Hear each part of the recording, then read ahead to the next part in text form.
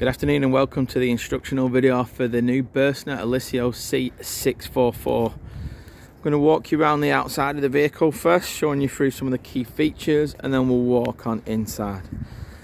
So coming around to the passenger side we've got alloy wheels spec on this particular one. The mirrors folded manually and then they will automatically adjust both on the top and the bottom mirrors with the little joystick inside. The door opens using the handle and you will find your bonnet release catch can just be found just there by pulling that down.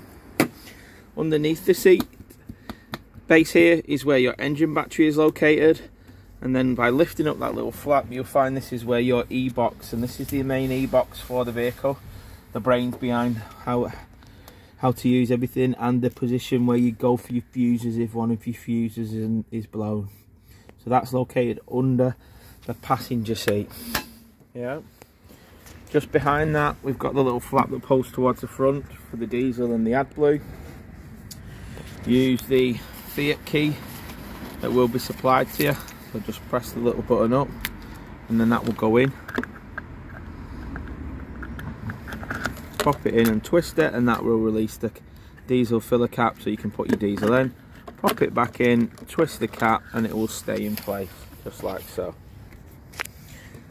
AdBlue is 15 litres and you just un undo that and then fill that up, pop it back in and twist and lock it in place like so. Once you've finished, just press and close that and it will clip in place. You also get a tyre inflation kit and you will also get a towing eye with the vehicle. The blinds, which are on the side here, pull along and we also have these installed in the front cab area. Pull them together and they will magnetize in the middle from the opposite side and they will screen out that cab area. For these ones just a gentle it's almost like an S shape to close them up. And that will then open and close it back up for you. Well we're at the front the bonnet release catch can be found just above the Bürstner sign. A little yellow handle there and under here we've got negative points just here. And underneath here you'll use your key but you'll lift up that flap and that is where your positive point is. Oil goes in there and then screen wash to the left hand side just up there. When you're closing it down just gently close it and it will close up that front area. Further back of that we've got the toilet cassette so with your Bürstner you'll be given a set of keys that has this, a suited key on and that will work for all of the lockers. So press one button that's locked press the other one and then it will lift up. Inside here it will show you your toilet cassette. Now your toilet cassette can only be removed when the blade valve inside is closed. So to remove it you lift up the little blue lever slide it towards you and then that will give you the toilet cassette there is normally a cap on here so you would remove that screw the cap off lift up the unit and press the button. And as it's upright it will flow out of your little tube here onto the floor uh, waste disposal area. Once it's empty you can then put your chemicals or your sachets back inside there. It also has a handle and wheels for taking to and from your motorhome uh, nice and simple. There is a bit of space in here to put your belongings as well and when you're finished it'll just lift it up slide it in and then you're waiting for it to just lock in place over the little latch there. When you're finished, you can close it and then lock it up again. Back of that, we've got the Truma vent for your hot water and your heating system. It does say hot on here, so please be careful and don't put anything on here before you turn it on. Below that, there's a little element to tell you where your wastewater drains from. You'll need the little key. You pop that on and then you will just twist it 90, 90 degrees when you want to open the wastewater and the opposite way when you want to close it back up. So that is any water that's gone down your sink, shower areas, things like that. Yep. So that's your wastewater. The mains plug-in point, again with a little symbol, goes in here. To release it, you just push that little button down and pull your cable out. And then when you put your cable in, you just push it in and then let your lid rest on the top there round towards the back of the vehicle Again on your key you'll have a button to open the rear doors. Pull the handle. And then there's a little lever here which will give you access into the rear area here. Your water tank is just located to the right of here. Yeah. And to open and drain the tank you use this little wheel. So clockwise will allow you to fill it up. Anti-clockwise will allow you to empty it. And we do have two levels here. We have 100 litres and 20 litres. So when you turn it clockwise, you'll hear a click. The first click, if you stopped at that point, will only allow the tank to fill up to 20 litres and then we'll overflow the tank. Keep going until it's finger tight and again it doesn't need to be very hard on this but keep it going again so it's finger tight that will fill all the way up to the top and when you're filling your water it will just come out of the vehicle once it is completely full. In here you'll see we've got some seat belts, I'll come on to them when we go in. And we've got some heating vents into this area. So you can open and close these depending if you want it on just by pushing the flaps in there like so. We've got some little tie-down hooks so for securing your load in this area and we've also got just up around this corner here a USB charging point just up there and a light just here to give you access and visibility in the night. Your awning polars, there's an awning is located up at the top just there. Just clips into the little brackets and I'll send a separate video of how to use that. And above in the integrated high brake light, you'll find your reversing camera is located just there. Always close the left hand side before you close in the right hand side. And then that takes us on to the driver's side. Filler point again using the key just pop in place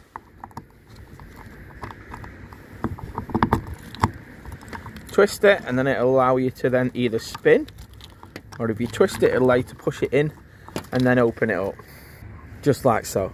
So that will allow you then to fill up your fresh water and, and as long as you've got it set to the 100 litre it will then overflow out of there to tell you it's full. You do have an indicator inside to tell you as well. Once you've done it lock it up and then you'll find it just spins just like so. Further forward we've got the electric step and that's operated just next to the door so I'll show you that when I go inside and again we've got the folding mirrors on here and the fuel awning just at the top up there. So pull the door handle towards you and then slide it to the left. It will lock in place and hold in place just there. We can see just there is the electric step button and if we press that up it will go in press it down it will come out next to the entrance area you'll find that we have got the gas locker area and it is supplied with a pigtail and a regulator from the manufacturer you can get uh, smaller gas bottles in there so you need to just be careful of what size it will also take a refillable 2.7 kilogram bottle which I have tried here previously the door on this particular one has got a full height fly screen. So just like so. And then that slides back and just holds in place. And then on the cab area here, we've got the electronic handbrake. We've got the steering wheel controls that I just found there. Underneath here is where you will find, by just lifting that up, some more fuses for your batteries there is one battery in this one but there are provisions for two batteries that just hooks on and that is underneath the driver's seat. This one is an automatic gearbox. It is available in manual as well. We've got air conditioning and we've got the multimedia system just there. We've also got a little pop-up bracket. So if you wanted to just put your phone anywhere while you're driving it lifts up and opens up there. To close it you press it down put your thumb and then that little lever at the side locks it in place and then just gently over and lock in place just there we've also got a lockable glove box and we've also got in here hill descent traction plus a locking button to lock the doors mute button for the volume and we've got your hazard light button we've also Further left, got an extra charging point, both for USB and a normal jack point. Just there. To move the seats around, because both of the front seats will swivel, you just pull that lever towards you and that will release the mechanism. Once it's got past the mechanism then you'll need to slide it forward using that bar just to get it round. But both of the seats will slide around there and give you an extra sort of area to sit if you're just stopping by the side of the road. Or if someone's in bed and they want to come and have a sit at the front you can slide both of them around.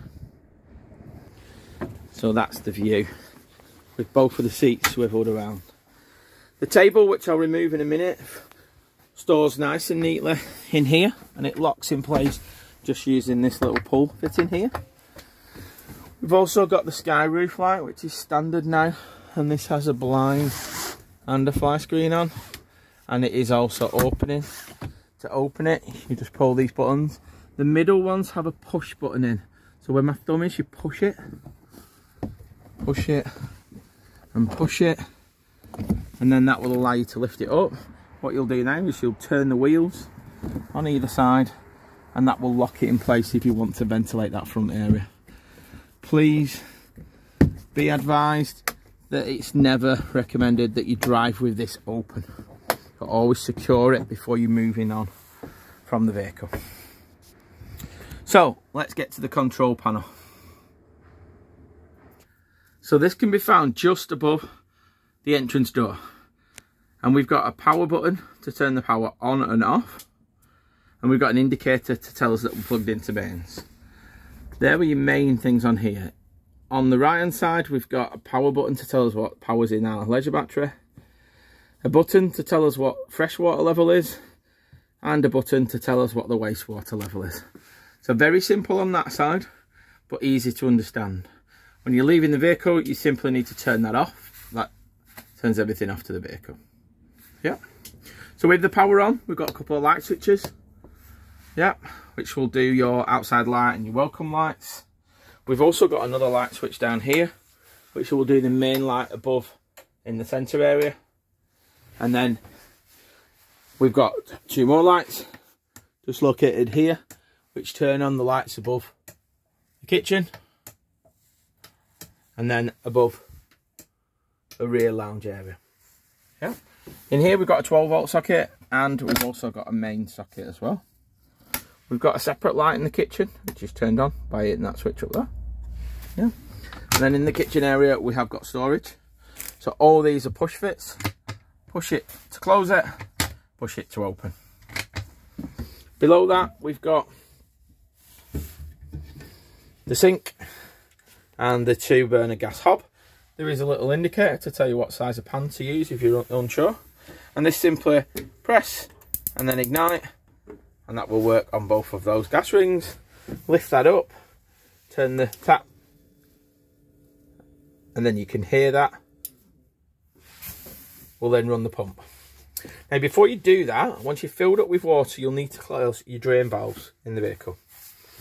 The first ones of which can be found under the oven and that's just in this compartment here. So there's two. There's a little yellow rocker switch which needs to be laying down horizontal when you want to run it or horizontal or vertical like it is now if you want to drain the system down. Yeah?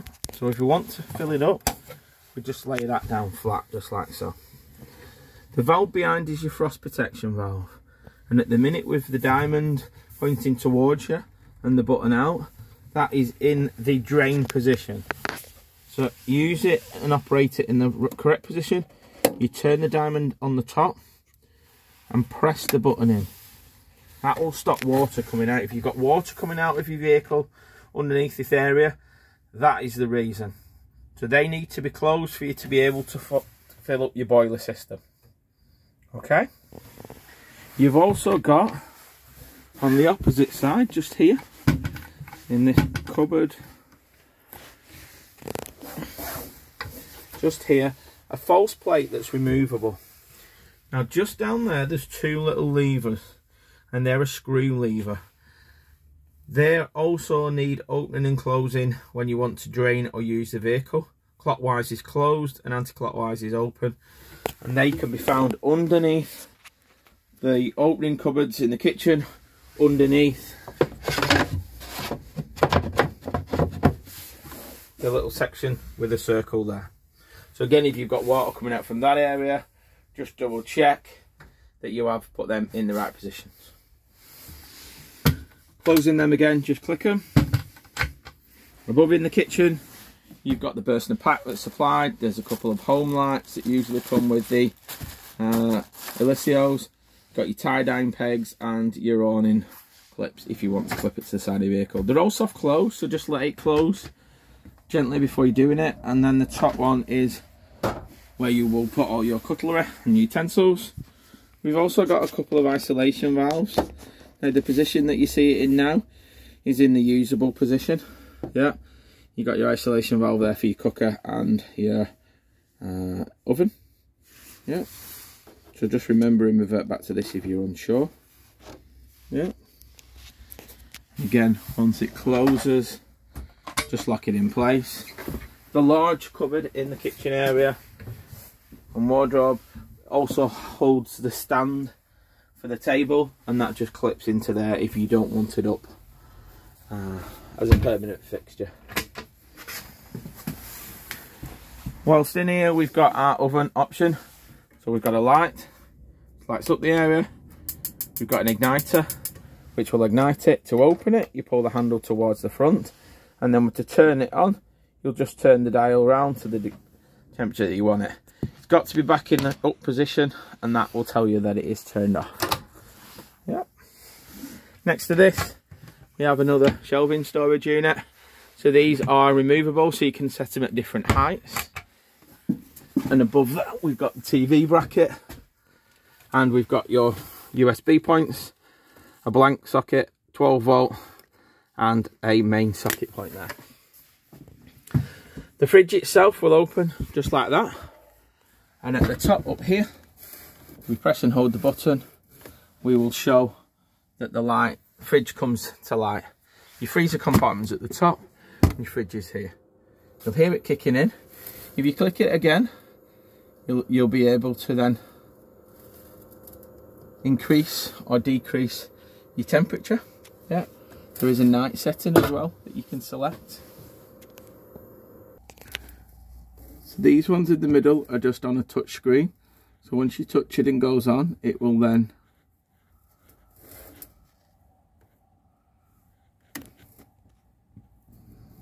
so it will allow you to then move it up and down to the desired temperature. There is a night setting and anything that you select will go to the blue option if it's on and the white option if it's not okay when you want to turn it off press and hold and that will turn off the fridge unit.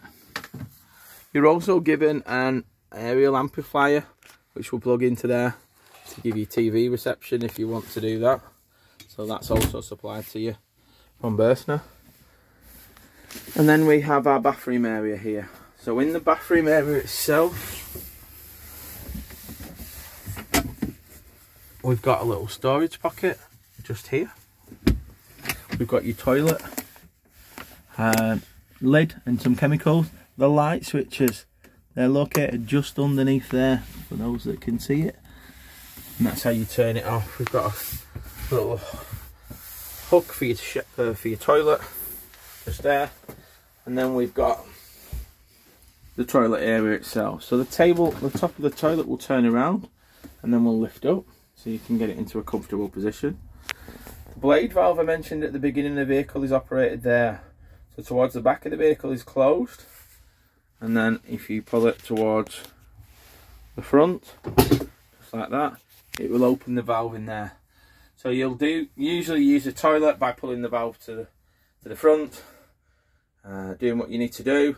Press the rinse, which is just there, and then you will just close the valve here keep the smells in the toilet. When you're wanting to use it as a shower, you need to pull it down. You'll need to turn it all the way round. Yeah? And the shower is located by unclip, pressing that clip in. Just there. And at the same time, just pushing that towards you. And then that will hold in place just there. Your shower comes out of the little stanchion there and hooks up into here. And then you do have a little screen to screen off the outside window, which again just opening is just there and it will lift open to ventilate that area once you've used it. Pull it towards you and then lock it in before you move on.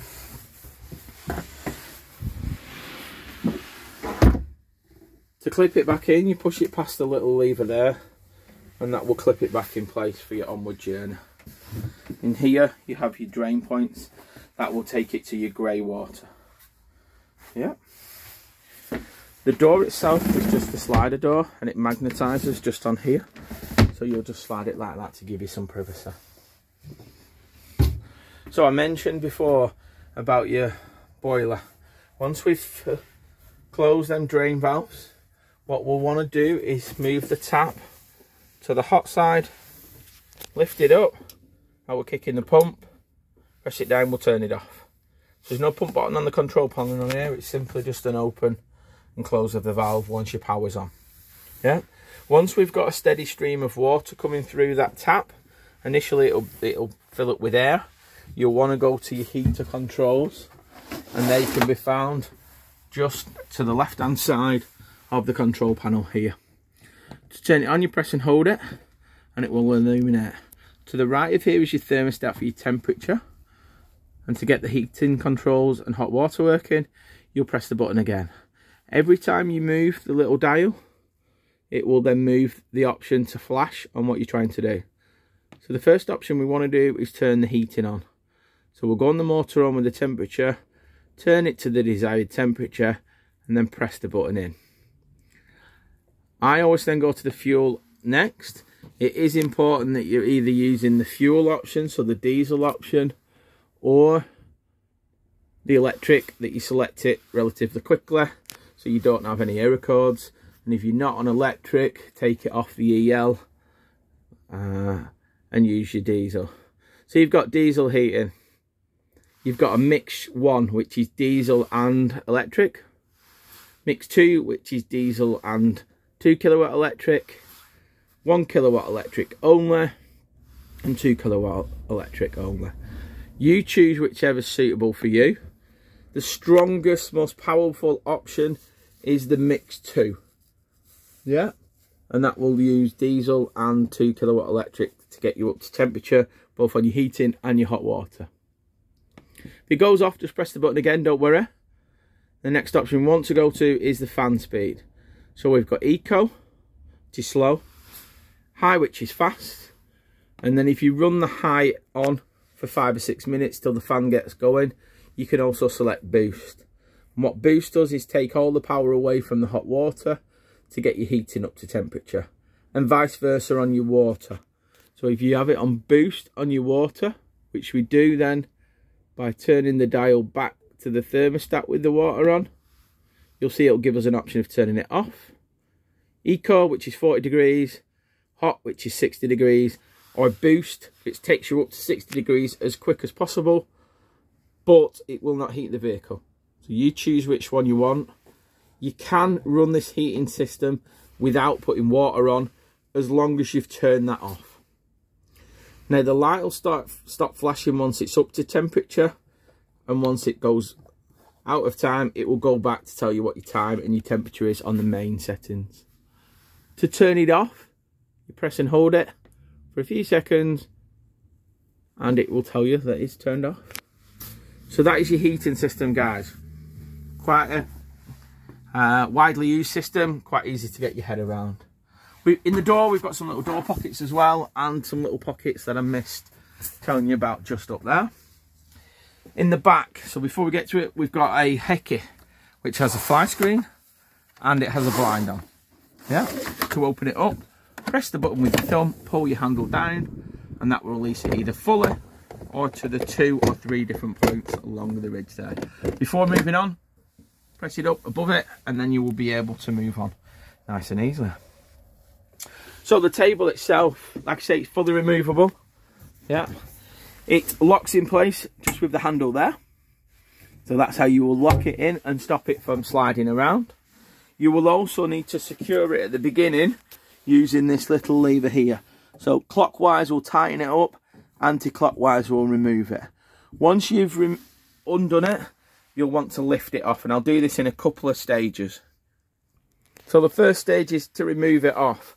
When you're pushing it on, you'll need to press down in the middle, line it up, press down in the middle, and the grooves lock into the grooves on the actual base itself, yeah? Once you've got it in, then you'll twist it to secure it in place. The base itself, you'll lock in place by pulling the little handle, and again, you'll undo it, just like so. Yeah, and then it'll loosen up the base, so eventually it will then fully remove. from the holes in the floor. You do the, you'll see the floor, little mountains there. Simply what you're doing is you're tightening with that finger, with the lever on the top, the bolt at the bottom, which secures it all in place. And like I say, it goes into that area there for stowing away. So that's where the bracket for the for the base of the table lives. Just a bungee cords to hold it in place and then at the front here it will slide into the little bottom section there slides along and then you'll just see that just if I just push it back a little bit there's a little metal clip here push it up to the bolt turn the lever or pull it out sorry and then that will lock it in place so it is secured for you yep so that's where your table goes with the table out of the way, it will show you the rear area here. So we've got the sliding window. We'll just press as a long releases off that little catch just there and we'll open. And then you can slide it all the way along. And again on here we have a fly screen and we have a blind. Yeah, in place, just pull it back and you'll hear it clip in place. The one on the opposite side is like the other ones, which just open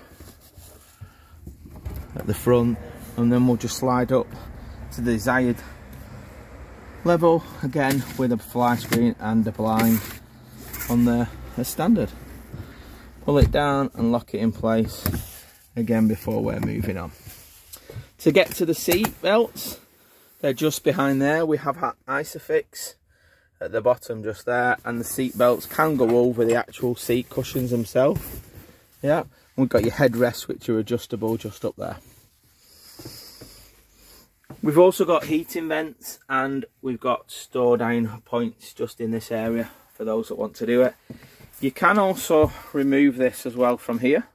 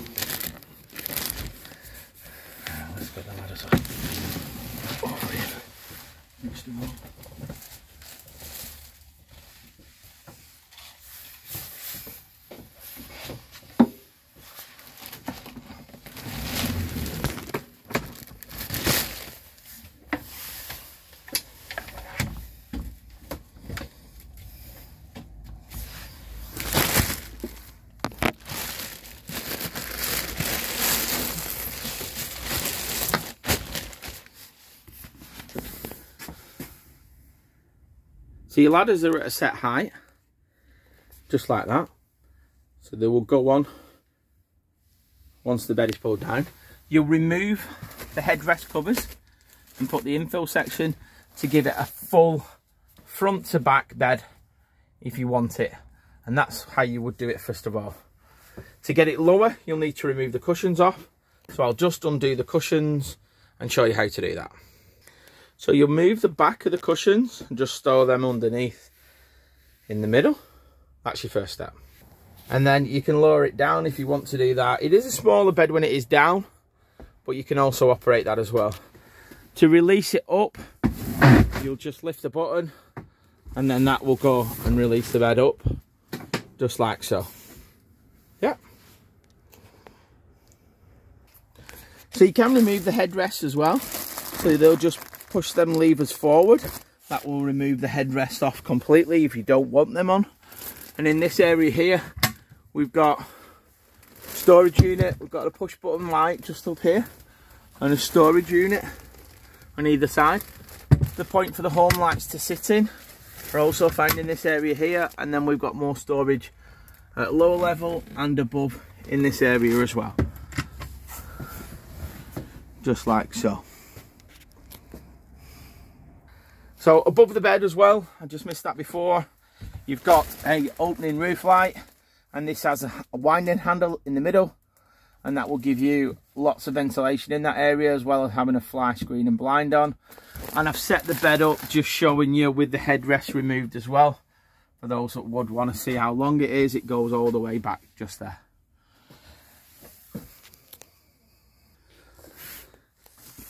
So that concludes pretty much our instructional video for this. I think you'll agree, great layout.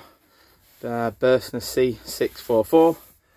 We look forward to your feedbacks and comments. Please like and subscribe to our YouTube channel. More importantly, we hope you enjoy your new adventures. Thanks for watching. Bye now.